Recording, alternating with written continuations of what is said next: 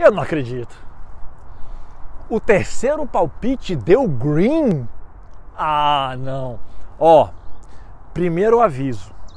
Se você tá aqui, se você chegou aqui pelo YouTube, não se emocione, porque quem me conhece sabe que eu sou ruim e pior, sabe que eu tenho fama de ser o pior apostador que todos já viram.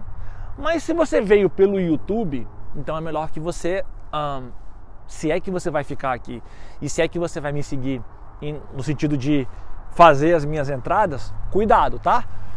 Se você fez todas, nós estamos no lucríssimo, de acordo com a nossa grande comunidade brasileira, de 0,88. E isso é muito, porque são casas asiáticas. Eu sou um apostador de casa asiática.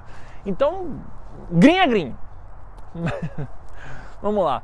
É, não sei quem vocês viram o jogo. O primeiro tempo um, foi 1 a 0 né, pro, pro Brighton. No segundo tempo, em jogadas até que a gente comentou, apesar do segundo nem tanto, o primeiro mais.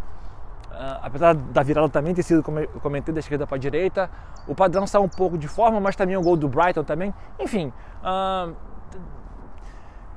porque é o seguinte, o que eu não controlo, eu não me prendo, sabe? Ah, o juiz roubou, ah, o cara deu sorte no gol, foi um chutaço, o goleiro não sei o que, o zagueiro falhou. E isso eu não controlo. A não ser que seja uma falha recorrente de lado, que era o caso que eu comentei. O Rashford obviamente iria pegar aquele lado esquerdo como pegou. O primeiro tempo foi um fiasco, apesar do começo ter sido ok até o gol. Aí depois do gol, o uh, United se perdeu, posse sem efetividade, sem nada, uma coisa bizarra. Segundo tempo, um pouco na base da pressão técnica e a, a tática óbvia pelo lado esquerdo. E aí tudo bem. Mas, repito, não se empolguem, porque agora, uh, depois desse vídeo, eu vou gravar o próximo que eu vou dar palpite. E aí, meu amigo, a nossa planilha vai pro Red. Pode ter certeza. Não se empolgue com aquela merda. Quem viu os outros vídeos. Aliás, eu vou deixar aqui em cima, ó. Eu vou deixar aqui em cima aquele vídeo que eu falo de. Eu nem sei qual é o vídeo, tá? Mas meu filho que edita mesmo, então ele procura. facilitar o trabalho aqui. É, que eu falo sobre aquele negócio de ah, que é bom começar com o pé direito, com o pé esquerdo, com o pé. Não tem, não tem nada a ver, cara. Da... Sabe por quê? Olha só. Tem nas apostas que você tem que volumar, certo? Então você aposta, aposta, aposta, aposta, aposta, aposta, no longo prazo, com valor e gestão. Se tiver ok, a sua odd vem a lucratividade. Beleza. Só que você não sabe qual que vai bater ou não. Você sabe do montante.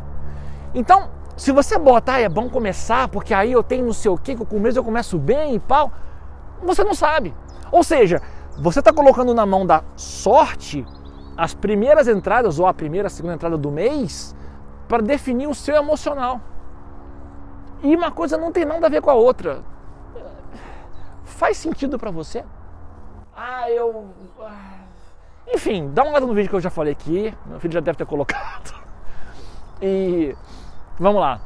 Espero ter ajudado. Aqui é uma coisa muito mais psicológica, é uma coisa de brincadeira para você ver. É uma crítica uh, com bom humor. E por que que tem essa crítica? Porque aqui isso não existe.